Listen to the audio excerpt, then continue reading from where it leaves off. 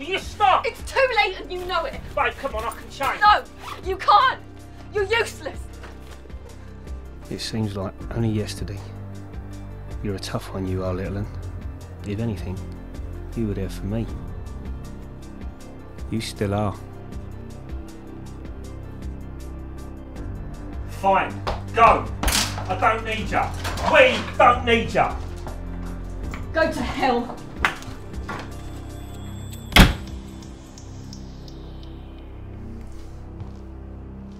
Look, me and Simon, we've been mates since we were five years old.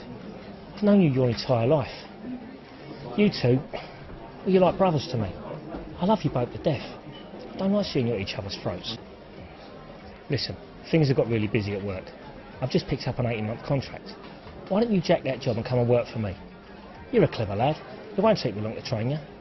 Don't have to do that, mate. I know, but I need an hand anyway. So it might as well be you.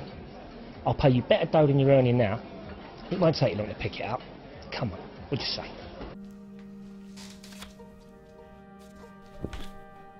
Can we watch Cinderella? Yeah, of course we can, sweetheart. I'll go make some popcorn.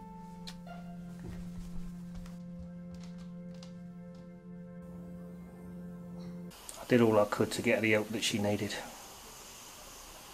The best doctors, rehab.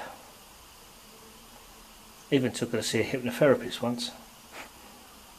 But no cigar, as they say. She got caught in that cycle, you see. Thieving, using, fucking oiling herself out. As I said, I did all I could.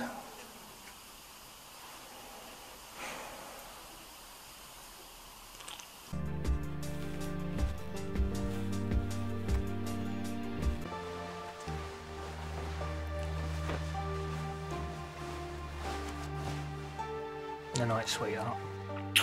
Good night, Daddy.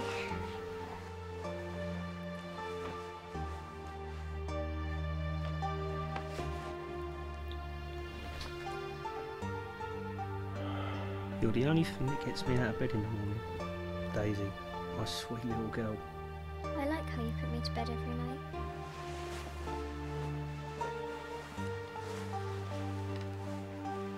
You're the best daddy in the world. You're all I need. I love you, Daisy. You're all I need. I love you, Daddy.